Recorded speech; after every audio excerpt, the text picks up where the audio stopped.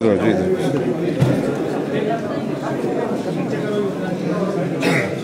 बताओ जी। Him care और दूसरी योजनाओं पर नेता प्रतिपक्ष और कुछ लोगों ने सवाल उठाया उस पर क्या जो विपक्ष के नेता और भारतीय जनता पार्टी जी के पूर्व सरकार के पूर्व मुख्यमंत्री जी ने जो बात कही है सदन में वो बात सही नहीं है। और जो योजनाएँ होती है, जो पिछली योजनाएँ होती है, वो कंटिन्यूटी प्रोसेस में होती है, जो कुछ चेंज की जाती है, उसके नाम के आगे लिखा होता है। हमने हिम केयर को अभी बदला नहीं है हिम केयर योजना को अभी चली है। उसमें और सुधार की ज़रूरत है, उसको और सुधार भी कर रहे हैं। और सहारा योजना, दोनों योजनाओं को हमने जारी रखा है।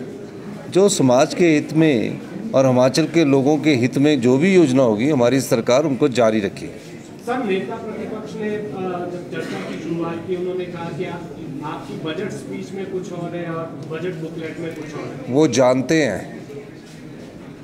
वो जानते हैं उनके पास कहने को कुछ नहीं था क्योंकि बजट ने उनका मुँह बंद कर दिया था।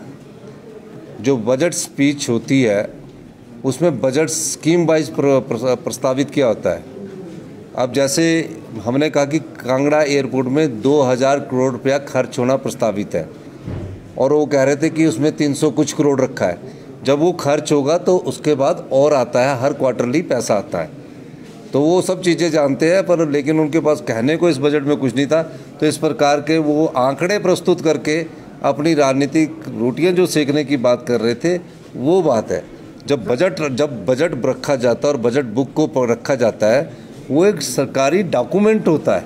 उसमें जो सरकार द्वारा कहा जाता है, वो तथ्य होते हैं, तर्क होते हैं। लेकिन जब विपक्ष में आ जाते हैं तो आंकड़े बताते हैं कि इसमें इतना करोड़ रखा था, इसमें इतना करोड़ है। प्रस्तावित व्यय का मतलब है कि अगर हमने कांगड़ा एयरपोर्ट का एक्सपेंशन करना है तो उसके लिए 2000 करोड़ रुपया प्रस्तावित व्यय है। यानी एक साल के अंदर 2000 करोड़ रुपया हमको खर्च करना है। बजट में हमने उसका प्रावधान किया है। ये बात। एक उन्होंने ये भी कहा है कि सेंटर का ज़िक्र नहीं है केंद्र का। केंद्र की जो स्कीमें हैं जो फंड आ रहा है उसका कहीं ज़िक्र नहीं है और अ, स्टेट की तरफ़ देखिए स्टेट एक सॉवरन स्टेट होती है और जो सेंटर स्टेट से टैक्स जीएसटी के रूप में कलेक्ट किया जाता है जीएसटी कलेक्शन होती है उसमें ही है अठारह हज़ार करोड़। हमारा भी नौ परसेंट हिस्सा उसका एक शेयर हमको मिलता है। और जो सेंटर की पी एम योजना है, सेंटर के पास कोई अपनी योजना थोड़ी होती? वो तो स्टेट के टैक्सेस से कलेक्शन करते हैं, डीजल से कलेक्शन करते हैं, एजुकेशन सेस लगा के, पेट्रोल से कलेक्शन करते हैं, सेस लगा कर उसका पैसा जो हमारी परसेंटेज के हिसाब से मिलता है वो आता है। ये कोई नई बात थोड़ी है, उनके समय भी आता था, हमारे समय भी आता था।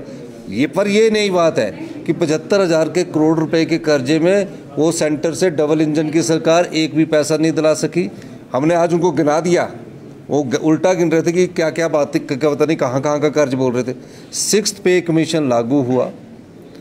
पेंशनर्स को अभी तक एरियन नहीं मिला है। जो सरकारी कर्मचारी, जो पेंशन वाले होंगे ना, उनको कोई नहीं मिला है।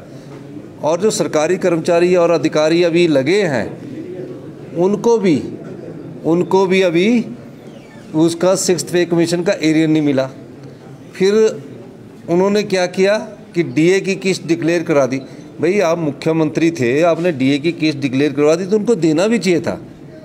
तो पचहत्तर और ये ग्यारह हज़ार छियासी करोड़ है मेरी बजट बुक में। है बजट बुक में जो डॉक्यूमेंट्स होते हैं, वो एक सरकारी दस्तावेज़ होता है। और बजट के बाद जो एलोकेशन ऑफ़ बजट होती है, वो स्कीम वाइज बजट होती है। जैसे जैसे पैसा स्कीम से खर्च होता जाता है, उसमें और पैसा आ जाता है। ये योजनागत तरीके से पैसा उसमें आता है। जब बजट प्रस्तुत किया जाता है तो इतना पैसा हमने खर्च करना है। ये तो पैसा भी खर्च नहीं कर सके कई जगह। कैपिटल एक्सपेंडिचर इन्होंने डेढ़ हज़ार करोड़ कम खर्च किया। तो उन्हें थोड़ा सा कहने को कुछ नहीं था। अब उन्होंने विरोध तो कर दिया।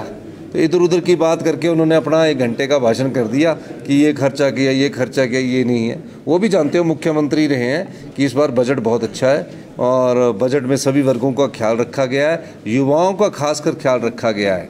युवाओं को स्वरोजगार की तरफ़, ले जाने की तरफ़ ख्याल रखा गया है। जो हमने 40 परसेंट सोर, सोलर प्रोजेक्ट लगाने की योजना लाई है और गाँव के युवाओं के लिए लाई है। उसका असली मकसद है कि गाँव के हमारे युवा जो है, वो घर बैठकर पैसा कमाएँ। तो ये योजना भी थोड़ा सा विस्तृत तो और आएगी तो आप लोग भी पाएँगे कि हम सब लोग भी इस योजना के अंतर्गत लाभ उठाए। इस साल हमने एक हज़ार मेगावाट की योजना, इस साल। एक हज़ार मेगावाट की योजना हम हिमाचल प्रदेश के युवाओं को देना चाहते हैं। 100 किलोवाट से लेकर एक मेगावाट तक हम 40 प्रतिशत सब्सिडी देंगे। सर, जिस तरह से पड़ोसी राज्य में खालिस्तान एक्टिविस्ट एक्टिव हुए हैं, हिमाचल प्रदेश में बहुत अधिक संख्या में टूरिस्ट आते हैं, किस तरह से प्रदेश सरकार नज़र रख रही है? आज यूके में भी लंदन में जो हाई कमीशन है, वहाँ भारतीय झंडे को उतारने का प्रयास किया गया, हालाँकि उसको इसकी रखने में हाउ डू सी दिस और हिमाचल देखिए, हिमाचल शांत शांति प्रिय प्रदेश है।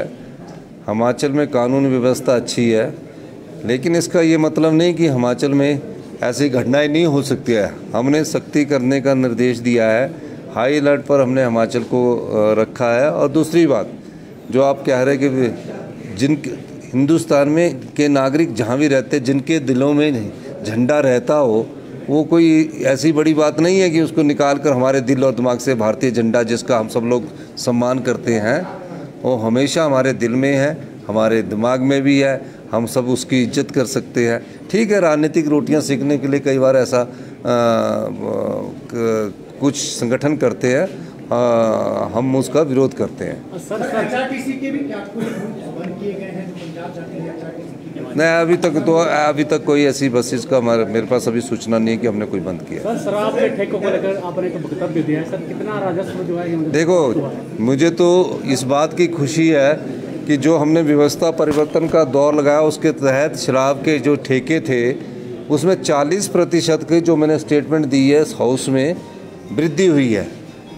520 करोड़ रुपया हमारे एक साल में एक्स्ट्रा आया है।